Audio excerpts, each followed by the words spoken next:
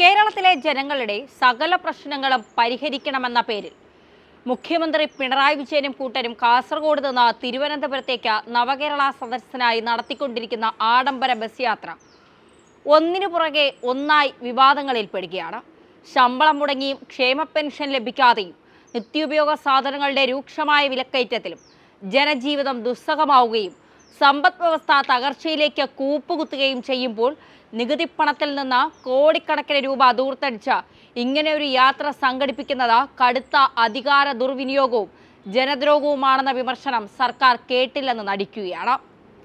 മന്ത്രിസഭാ അംഗങ്ങളുടെ ആഡംബര യാത്രക്കെതിരെ പ്രതിഷേധിച്ചവരെ ഡിവൈഎഫ്ഐക്കാർ മർദ്ദിച്ചത് അവരെ രക്ഷിക്കാനായിരുന്നുവെന്ന മുഖ്യമന്ത്രിയുടെ വിചിത്രമായ പ്രതികരണവും വിവാദത്തിൽപ്പെട്ടു.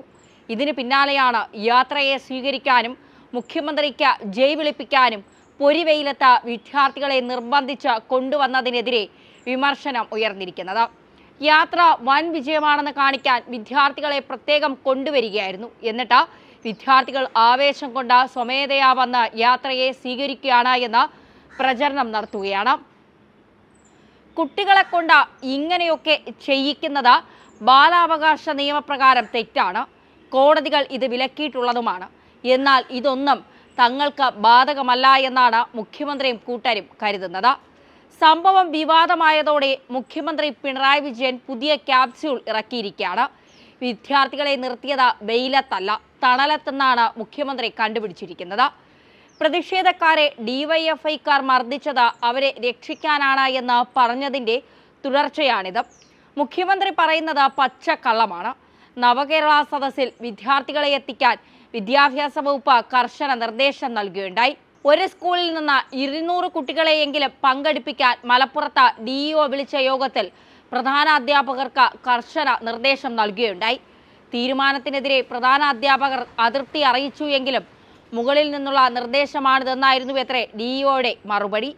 വിദ്യാർത്ഥികളെ കൊണ്ടുവരണമെങ്കിൽ രക്ഷിതാക്കളുടെ അനുമതി വേണമെന്ന് പറഞ്ഞപ്പോൾ അതൊക്കെ സ്കൂളുകൾ സ്വന്തം നിലയിൽ കൈകാര്യം ചെയ്യണമെന്നായിരുന്നു പ്രതികരണം. കുട്ടികളെ കൊണ്ടുവരാൻ സ്കൂൾ ബസ് ഉപയോഗിക്കുന്നതിലെ ബുദ്ധിമുട്ടിനെ കുറിച്ച് പറഞ്ഞപ്പോൾ സ്കൂളുകൾക്ക് പ്രാദേശിക അവധി നൽകാമെന്നായിരുന്നു എത്രേ ഡിഇഒയുടെ നിർദ്ദേശം. കക്ഷി രാഷ്ട്രീയ താല്പര്യത്തിന് വേണ്ടി കുട്ടികളെ ദുരുപയോഗിക്കുന്നതിന്റെ പ്രത്യക്ഷ ഉദാഹരണമാണിത്. മയക്കുമരുന്ന് കേസിൽപ്പെട്ട പ്രമുഖ പാർട്ടി നേതാവിന്റെ മകന്റെ തിരുവനന്തപുരത്തെ വീട്ടിൽ അന്വേഷണ ഏജൻസികൾ പരിശോധനയ്ക്കെത്തിയപ്പോൾ ബാലാവകാശ നിയമം ലംഘിക്കുന്നു എന്ന് പറഞ്ഞ് ബഹളമുണ്ടാക്കിയവരാണ് മുഖ്യമന്ത്രിക്ക് ജയ് വിളിക്കാൻ പഠിപ്പ് മുടക്കി കുട്ടികളെ പൊരിവെയിലത്ത് കൊണ്ടുവന്ന് നിർത്തിയത്.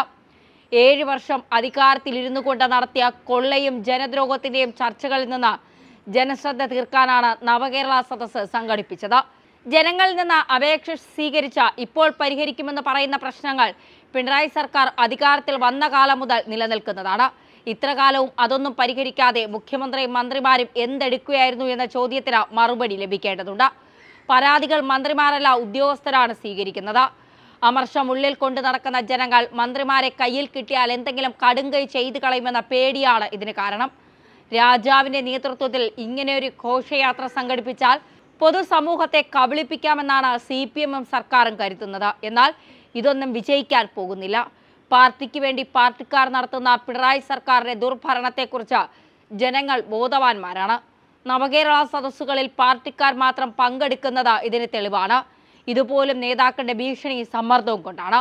നവകേരള സദസ്സിന് കുട്ടികളെ കൂട്ടത്തോടെ പങ്കെടുപ്പിച്ചാൽ പാർട്ടി പരിപാടി എന്ന പേരുദോഷം മാറ്റി ജനശ്രദ്ധയെ ആകർഷിക്കാൻ കഴിയുമെന്നാണ് കരുതുന്നത്. പ്രതിഷേധമുയർന്നതോടെ നിയമലംഘനം തിരിച്ചറിഞ്ഞ ഇനി കുട്ടികളെ പങ്കെടുപ്പിക്കേണ്ട എന്ന മുഖ്യമന്ത്രിയുടെ അരുൾപ്പാടുണ്ടായിരിക്കുന്നു. പ്രശ്നം ഇവിടെ അവസാനിക്കാൻ പാടില്ല. ബാലാവകാശ നിയമം ലംഘിച്ച കുട്ടികളെ രാഷ്ട്രീയമായി ഉപയോഗിച്ചതിന് ഇവരെയൊക്കെ കോടതി കയറ്റുക തന്നെ വേണം.